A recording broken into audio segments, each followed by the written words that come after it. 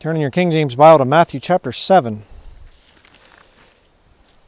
It's important that you have a, a Bible in front of you for this study because you need to see what the scriptures say, not what your thoughts or your feelings or your emotions or whatever else say.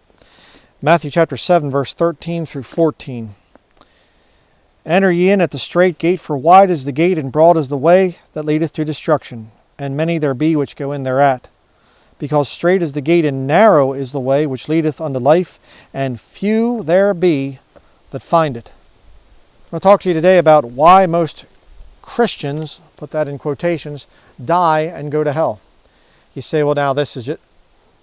I'm going to prove it to you.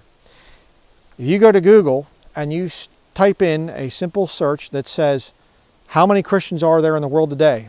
I did this and it came up with this little statistic here. I think it was from 2010, 2.2 billion Christians. Okay, according to Google, according to accepted search engine queries. All right? I'll show you the problem with that in a minute here, but 2.2 billion people. So, roughly, what, a quarter? Not quite a quarter of the people in the world today are saved. Uh, that doesn't sound like few people. Um, is Jesus lying or is Google lying? Or the Gallup poll or whatever it was that, that did this thing here? Who's lying? Hmm. Look down at Matthew chapter 7, verse 21 through 23. Not every one that saith unto me, Lord, Lord, shall enter into the kingdom of heaven, but he that doeth the will of my Father which is in heaven. Many will say to me in that day, Lord, Lord, have we not prophesied in thy name, and in thy name have cast out devils, and then in, and in, thy name done many wonderful works? And then will I profess unto them, I never knew you. Depart from me, ye that work iniquity. Now, of course, dispensationally, doctrinally, this is pointed at people in the future. Okay, I understand that. The Sermon on the Mount, Matthew 5 through 7, is more for somebody that's in the thousand year reign of Christ. Absolutely. But it teaches a general truth. There will be people that get to heaven thinking that they're saved and they're not. Few there be that find it. You see? Now let me show you something very interesting. Turn in your Bible to Revelation chapter 4. You say, can you prove how many people get to heaven? Well, not an exact number, but I can give you a pretty good number of how many Christians there actually are. The polls, Google, says that it's 2.2 billion with a B. billion. But what does the Bible say? Revelation chapter 4, verses 1 through 4. After this I looked, and behold, a door was opened in heaven, and the first voice which I heard was as it were of a trumpet talking with me, which said, Come up hither, and I will show thee things which must be hereafter. And immediately, immediately I was in the Spirit, and behold, a throne was set in heaven, and one sat on the throne. Where's John at? Is he on the island of Patmos anymore, or is he in heaven? He's in heaven. What does he see? Verse 3 and he that sat was to look upon like a jasper and a sardine stone, and there was a rainbow round about the throne in sight like unto an emerald. And round about the throne were four and twenty seats, and upon the seats I saw four and twenty elders sitting, clothed in white raiment, and they had on their heads crowns of gold. Who are these 24 elders? They're Christians. Hmm. There are Christians in heaven when John gets there? Uh, 2.2 billion? No, 24. You say, there's only 24 people saved? No, keep reading.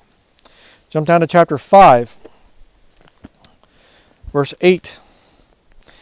And when he had taken the book, the four beasts and four and twenty elders fell down before the, th- the Lamb, having every one of them harps and golden vials full of odors, which are the prayers of saints.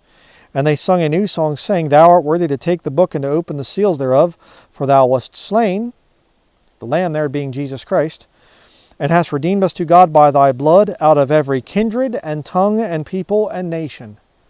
Who are the 24 elders? People say, I don't know, it's very mysterious. The 24 elders, I think it's probably the 12 apostles and the 12 Jewish patriarchs. Wrong, you blew it. How do you know? They're out of every kindred, tongue, people, nation. The apostles and the 12 patriarchs are all Jews. Okay? Look up Deuteronomy chapter 32, there are, God has separated the bounds, nations into certain boundaries. There are 12 nations. He separated them according to the number of the children of Israel. 12 boundaries. What's 12 times 2, class? 24. Okay? So when they say that we're saved by thy blood out of every kindred, people, tongue, nation, what they're saying is two from each of the 12 boundaries. It's simple. It's not some, oh, deep mystery. Oh, some scholar, uh, some great Bible commentator, he doesn't really know. Well, then he can't read plain English. Okay? And God sealed those things and you know hasn't revealed them to him because he's got some kind of a sin issue. All right? It's just plain English. It's right there. but we have 24 elders. Verse 10 And hast made us unto our God kings and priests, and we shall reign on the earth. Millennial reign promised to Christians. 2 Timothy chapter 2 talks about it. Verse 11, you say, well, there's only 24. Keep reading. Verse 11, And I beheld, and I heard the voice of many angels round about the throne and the beasts and the elders, and the number of them was 2.2 billion as of the year 2019. No, the number of those angels. The number of them was 10,000 times 10,000 and thousands of thousands. 10,000 times 10,000 is 100 million. Wait a second. No, no, because Google says it's 2.2 billion. And yet, the angels there, I'll get back to that in a minute, the angels there, redeemed saints, in other words, um, there's only just over 100 million, a couple thousand more than 100 million, and the 24 elders. Somebody's lying. Jesus says, Few there be that find it. The way which leadeth, you know, to, to death, to hell, is broad, and many there be which go in thereat almost like 2.2 billion, you know. Um, but the way to heaven is small, narrow. Jesus says to a lot of the people that come, I never knew you. You're not redeemed. Hmm. So Jesus and John has it revealed to him that it's just over 100 million. A couple thousand over 100 million. But Google says it's 2.2 billion. Who are you going to believe? What about this thing of the angels, though? You say, well, are you saying the Christians are angels? Matthew chapter 22, verse 30 says, For in the resurrection they neither marry nor are given in marriage, but are as the angels of God in heaven. Um, there are other mentions of angels in the book of Revelation. And of course, you go to uh, Revelation chapter 19, and John actually falls down before the feet of an angel, and he says, Stand up, you know. So let's, let's go there. I'll just show you that verse real quickly here in case you think that angels are not redeemed uh, saints. Uh, Revelation 19, verse 10 And I fell at his feet to worship him, and he said unto me, See, thou do it not. I am thy fellow servant and of thy brethren that have the testimony of Jesus. Worship God, for the testimony of Jesus is the spirit of prophecy. An angel there in heaven, and John falls down at his feet and he says, I'm of thy brethren. Hmm. So in heaven, we are as the angels of God. And here's the really interesting part. That number of just over 100 million, that's all of church history.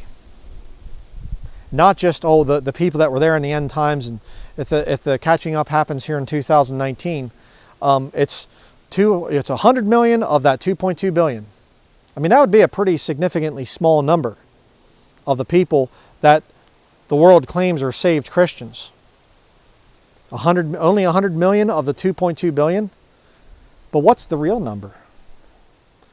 Almost 2,000 years of church history and only just over 100 million people got saved?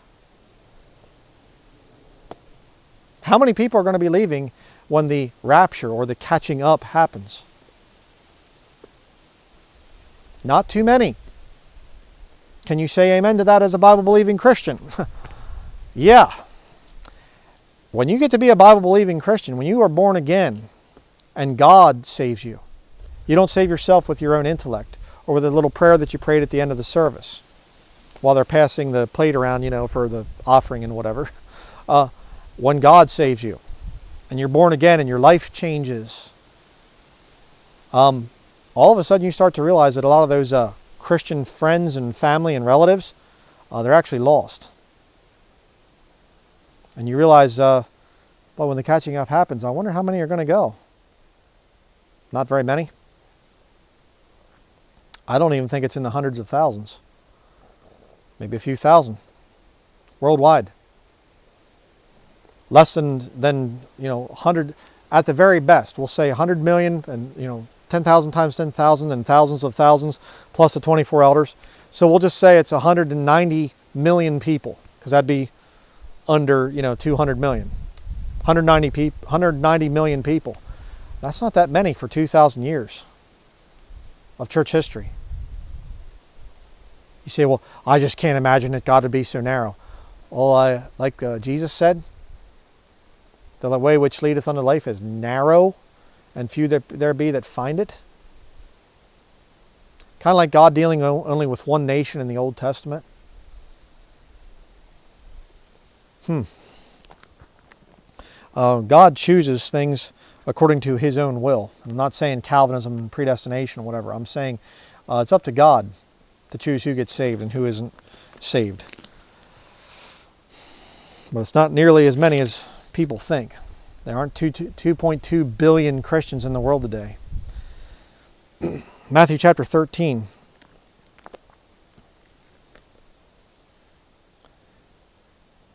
Turn to Matthew chapter 13. Verse 18 through 23. The parable of the sower. Hear ye therefore the parable of the sower. When any one heareth the word of the kingdom and understandeth it not, then cometh the wicked one and catcheth away the wit- that which was sown in his heart. This is he which received seed by the wayside. Now, this is talking about, again, the kingdom of heaven. This is the physical kingdom that's coming. But as far as instruction in righteousness, as correction and reproof, this thing is true in any dispensation. This thing is true all throughout the Bible. You will have different people in the reaction to hearing the gospel. It doesn't matter what dispensation is. People will, will always react in similar ways. All right? The first one there. Anyone heareth the word of the kingdom and understandeth it not, and cometh then cometh the wicked one and catcheth away that which was sown in his heart. This is he which receives seed by the wayside. You get somebody and they pull out and they get in behind me or whatever else, and they see the gospel in the back, and they, oh, what's that all about? This thing of Jesus dying for sins? Huh? You know, what is that? Oh, here comes our turn, and they turn off, and it's oh, hey, I just got a phone call. And they, they get on their phone and they're talking on their phone. Pretty soon they forgot all about that, that magnet on the back of the truck. Somebody sees a gospel tract laying there and they pick it up and they're looking at it and somebody says, hey, are you ready to go? Oh, yeah, yeah. Uh, and they throw it in the trash. And the cares and the deceitfulness and everything else of, of this world comes in and they forget all about that gospel that they heard. A lot of people like that. That's the vast majority of people. Verse 20 But he that receiveth the seed into stony places, the same as he that heareth the word and anon with joy receiveth it. Yet hath he no root in himself, but dureth for a while. For when tribulation or persecution ariseth because of the word, by and by he is offended. How many times have I seen that? Good night. That's the one I see the most. Okay? I see these people, they come along, I'm a King James Bible believer. Oh, praise Lord, I can't I can't thank you enough for the videos that you put out, you know, and, and boy, I've learned so much and everything else. And and then they they going to do their own ministry and whatever else. And all of a sudden, next thing you know, they start to get attacked. And they start to get some heat for being a Bible believing Christian. And it's, oh, I didn't know that this was going to happen. I don't think I'm interested anymore. Goodbye. And all of a sudden, all the stands that they once supposedly took, they abandon them all. I'm not saying people that disagree with me, that's fine. I'm talking about somebody that's taken all these good stands and all of a sudden, oh, they get offended and they just go, I don't believe any of that stuff anymore. I was in a cult. you know? Mm-hmm. Sure you were. Yeah, that's what lost people say about Bible believing Christians. They call it a sect. Read the book of Acts. A lot of people like that. Verse 22, another type of person that hears the word. He also that receives seed among the thorns is he that heareth the word, and the care of this world and the deceitfulness of riches choke the word, and he becometh unfruitful. There you have a false professing Christian that produces no fruit. Yeah, you say, well, no, it's a carnal Christian that they they they can produce the fruit, meaning that they are saved. They just get kind of carnal and they don't waste their time. Um, you forgot the the the portion of scripture which we're going to be looking at the fact that God purchases you. And God has a right to tell you what to do with your life. And if you don't listen, he's going to chasten you. He's going to punish you. And if you be without chastisement, then you're a bastard, according to the book of Hebrews. A bastard is a, a, somebody, a child that doesn't know their father. Funny that the Trinitarians talk about Jesus is not the Father. They don't know who He is, you see. They don't understand that He and, and God the Father are one and the same being. Body and soul is the difference there, the distinction between the two. They don't know who their Father is. Hmm. Interesting. Uh, it's not a carnal Christian. It's somebody who's a fake, who's a fraud. It's not, well, two, two lost groups there, you know, verses 19 and 20 and 21. Those are two different types of lost. And then, and then uh, you know, verse 22 there is a, is a saved but just carnal. No, it's lost. It's lost. They're not producing fruit. They're fake. A tree is known by its fruit. Oh, I'm a Christian and everything else. Uh, uh, okay, where's the fruit? Where's the proof? Where's the changed life? Anybody can profess to be a Christian. You need to see some proof. Verse 23 But he that receives seed into the good ground is he that heareth the word and understandeth it, which also beareth fruit and bringeth forth some, some an hundredfold, some sixty, some thirty. Um, when somebody gets genuinely born again, there's a major change that happens there. The Bible teaches the imputed righteousness of Jesus Christ. And the false convert says, well, good, I get righteousness of Jesus Christ imputed to me so that then when I sin in the future, it's just all thrown onto Jesus. He's there suffering and dying on the cross, and hey, I get to live and I get to live in sin, and I just keep on heaping more pain on him. That's a problem, first of all. Okay, uh, when you understand how Jesus suffered and died for your sins, you're not going to want to continue in those sins just willy nilly. I don't care. I'm just going to keep on doing this stuff. I don't care. It's all paid for. I, I, have a, I have a blank check. I can live however I want. No, that doesn't work. But there's a second aspect to the thing of Christ's imputed righteousness. Because when his righteousness is imputed to you, when it's given to you, that righteousness will shine through. I mean, I have had experiences where literally I am standing at a store and I don't say a word. I'm not glaring at people that are living in sin or doing whatever else, and people feel uncomfortable around me. And I'm dressed the same way. I got a flannel shirt on, I got jeans on, I got boots on. I'm not trying to be there, you know, screaming, repent, you know. I'm just standing there minding my own business and people, uh, you know, they can feel something. Something's different about me. I get around lost men and, and all of a sudden their language starts to clean up and whatever else. I've seen it happen with my wife. She's born again. She's saved. She makes women uncomfortable course, it's because she wears, you know, dresses like a lady and actually wears dresses, but that's another issue. But, uh, you know, things change. Okay, give you a little analogy. Um, just to prove my point about imputed righteousness. What is imputed righteousness?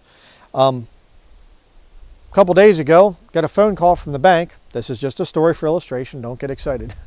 Get a phone call from the bank, and they said, uh, Mr. Denlinger, you need to come down to the bank right away.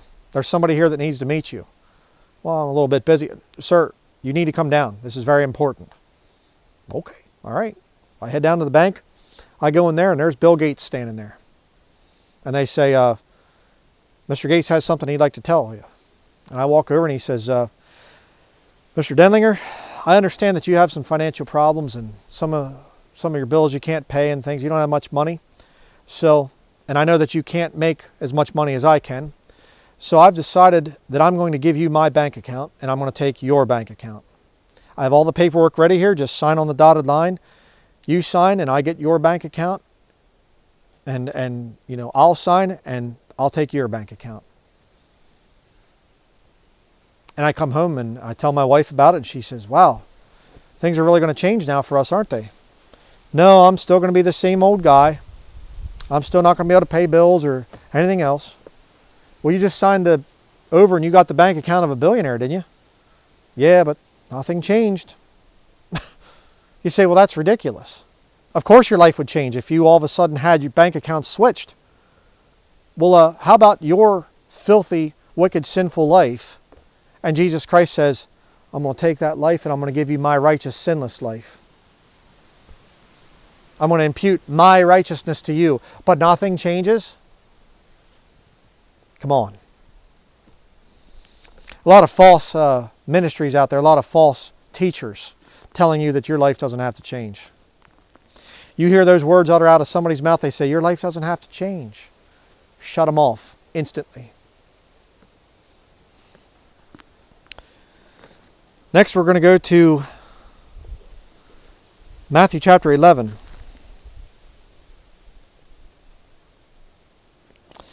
Matthew chapter 11. Speaking of the righteousness of Jesus Christ. Matthew 11, verse 28 through 30. Come unto me, all ye that labor and are heavy laden, and I will give you rest.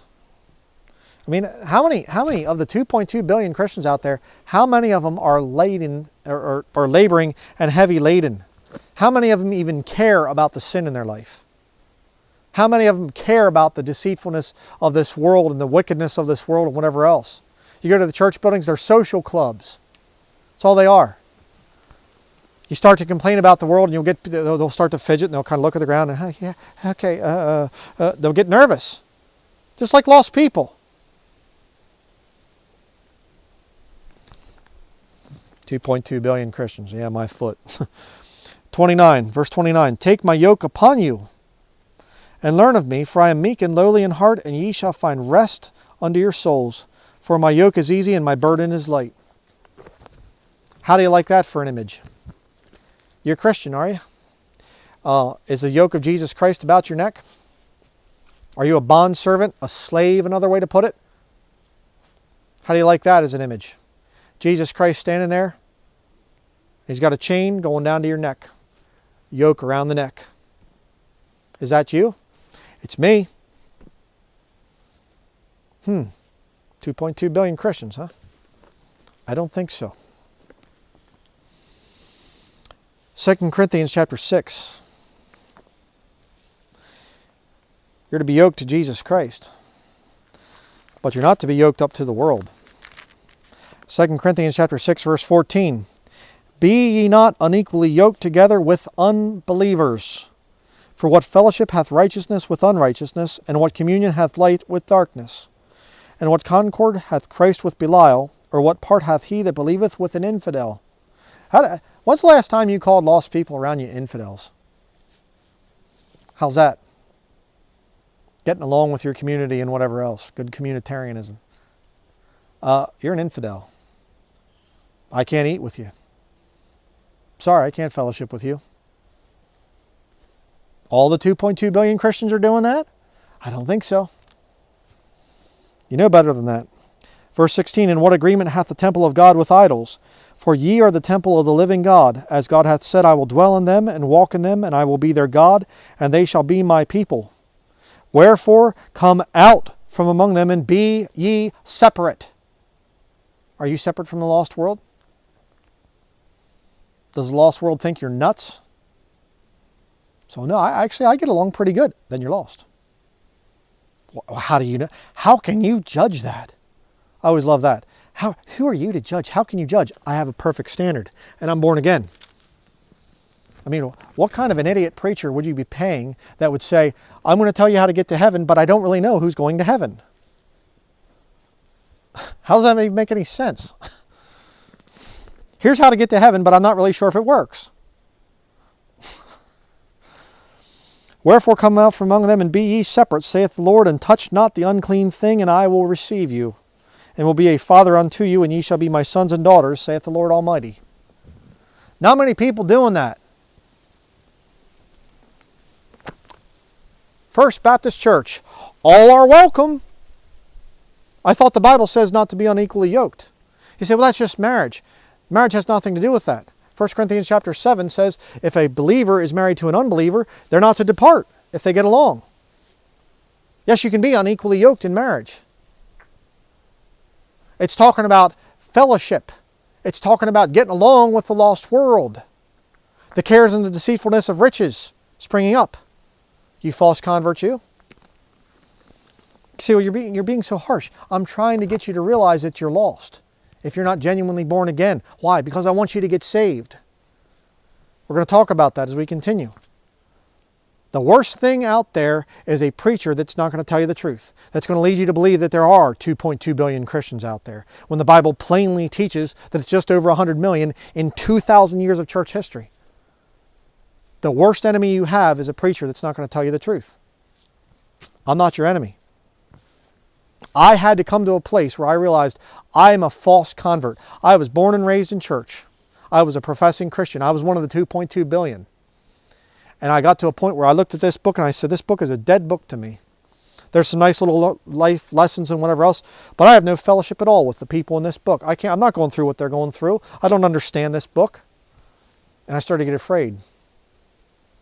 And I started to say, God, I don't know. I don't know if I'm really saved. And I got scared. I don't want to go to hell when I die. Please, God, show me the truth. And it wasn't just, you know, oh, this angel, you know, light come down through my window and I'll, I'll save you now because you said a thing or you believed it in your heart or whatever. Oh, no, no. There was a process there. I had to come to the end of myself, you see. Still holding on to the world a little bit too tight. Still holding on to my uh, goodness. I had to come to the end of myself. And the Lord put his yoke upon my neck. I bought you now. Here's my righteousness. You're going to have a changed life. You're going to give up some of those things that you've been doing, those things that my word says is sin. And then you'll start to have fellowship with the saints that are in this book. And the Bible is going to start to make sense. Yeah. 1 Corinthians chapter 15. You say, well, I, I, I know for sure I'm saved because I've believed the gospel. Therefore, I know I'm saved. Another way that you can spot a heretic very quickly is that they'll tell you that 1 Corinthians 15 verses 1 through 4 just teaches belief or the blood atonement. That's another funny one because it's not even mentioned in there. Uh, Jesus died on the cross, yeah, he shed his blood, but the blood atonement's not mentioned by name. But look, look at this. Very important here to get this. 1 Corinthians chapter 15 verses 1 through 4. Moreover, brethren, I declare unto you the gospel which I preached unto you, which also ye have received and wherein ye stand, by which also ye are saved, if, conditional clause, if ye keep in memory what I preached unto you, unless, unless ye have believed in vain. Question 2.2 billion Christians, they all say that they believe in Jesus. How many of them have believed in vain? According to the scriptures, there's just over 100 million. How many does that leave? 2.2 billion minus 100 million? And that's, we'll just say that's for today. We're not even talking all church history. Just for today. How many people have believed in vain? Billions, billions, and billions. You go down through church history, I have no idea how many faithful Roman Catholics and faithful Protestants and faithful Baptists and whatever else died and went to hell. Into the billions, possibly hundreds of billions. They believed in vain. Verse 3 For I delivered unto you first of all that which I also received, how that Christ died for our sins according to the Scriptures, and that he was buried, and then he rose again the third day according to the Scriptures. There's the gospel. Jesus Christ died for your sins. But most people have a reason that they don't want to believe in that. 2 Corinthians chapter 7.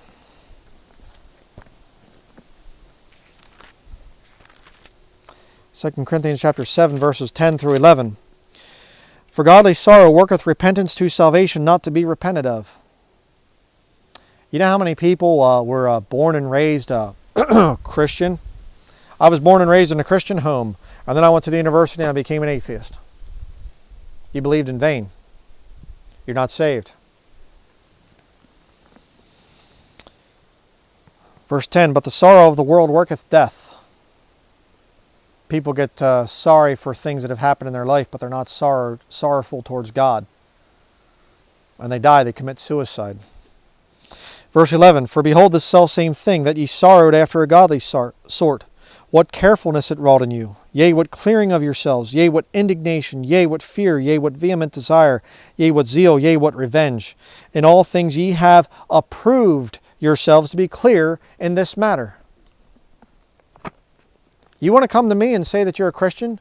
There's going to be an approval process. Hey, uh, brother, I'm a Christian. I'll just take your son off here into the woods and stuff. I'll go for a nice little walk with your son. Okay, you said you're a Christian, so go ahead. No, that's what Catholics do. Oh, Father so and so wants my child to come in back into his office someplace and help him with some uh, work he has to do. Next thing you know, your child comes home and they're acting a little bit strange, and you find out years later they were molested by the priest. What's the problem? That priest, he made a profession, but he wasn't approved. You see, he was a fake, he was a fraud. Are you in that number? Are you a fake? Are you a fraud? 2 Corinthians chapter 13, you say, Well, I think you're doing the work of the devil. He's doing the work of the devil because he's causing me to question my salvation. He's causing me to, let's just say, I don't really know for sure. Then Paul is in the same uh, vein as me.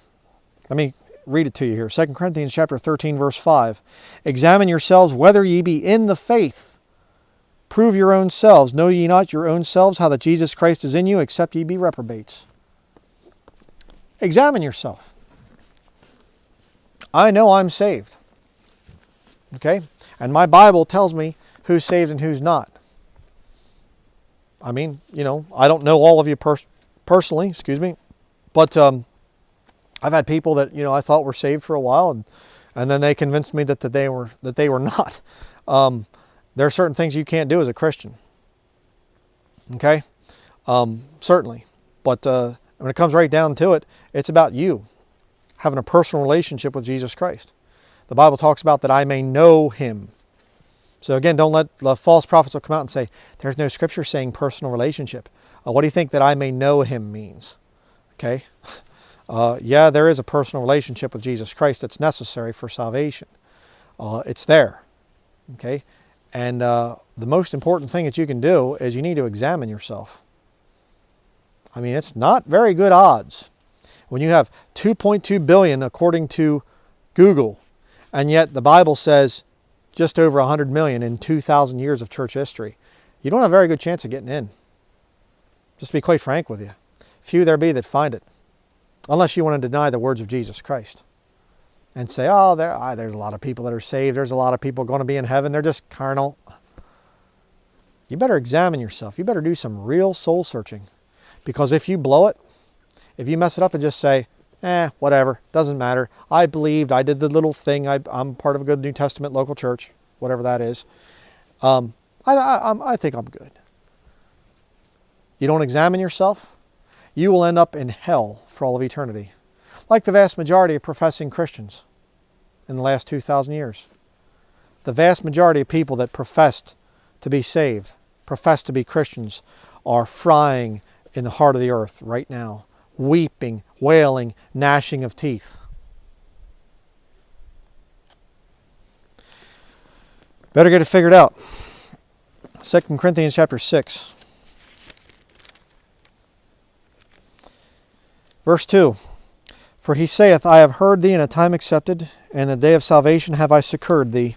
Behold, now is the accepted time. Behold, now is the day of salvation. You say, well, I don't know. I, you've given me some things to think about, but I'll just have to pray on this and whatever. You better get saved. Nobody is guaranteed tomorrow. You better get saved and you better do it now. But look at the verse there. I have heard thee in a time accepted. There's a whole false movement on YouTube, a bunch of losers that have no life, and they come out and they say, There's no prayer for salvation. You can watch these people, they, they stalk me all the time. They stalk me religiously. It is their religion to stalk me. Um, they, it's, it's their purpose in life. Okay? and they say there's no prayer for salvation. You don't call upon the name of the Lord to be saved. Shut them off. Instantly you know they're false. Why?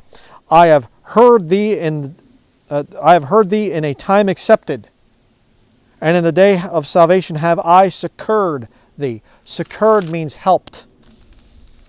You can't help yourself. You can't save yourself with your own self righteousness. You need God's help. You need His yoke put around your neck.